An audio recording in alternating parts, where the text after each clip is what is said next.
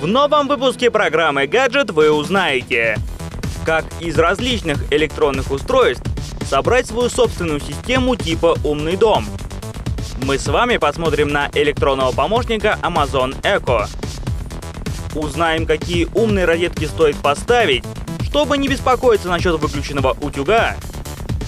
А также взглянем на гаджет, который всегда поддержит хорошую погоду в вашем доме. Не пропустите эту полезную информацию 21 сентября в 18.30 на городском телеканале ЮТВ.